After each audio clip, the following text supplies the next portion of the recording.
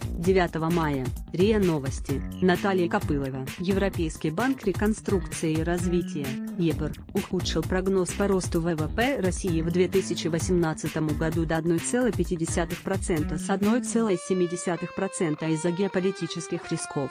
Следует из весеннего отчета Банка региональной экономические перспективы, регионал Economic Prospects, по оценке финансового института, темп роста российской экономики в 2018 и 2019 годах останется на уровне 2017 года, около 1,5% вследствие низкой инвестиционной активности и стабилизации или небольшого снижения цен на нефть. Рост ВВП должен будет поддерживаться восстановлением потребления и инвестиций, а также более высокими ценами на нефть и макроэкономической стабилизацией. При этом основные риски для экономики РФ будут исходить от той же цены на нефть, от отсутствия реформ бизнес-среды и геополитической напряженности. В отчете также отмечается, что новый раунд санкций, введенных США в начале апреля против российских бизнесменов и компаний, добавил неопределенности инвесторам. Авторы доклада вновь подчеркнули, что без реализации существенных реформ рост ВВП РФ в долгосрочной перспективе будет оставаться на уровне около 1-2% в год из-за низких инвестиций и устаревших производственных мощностей,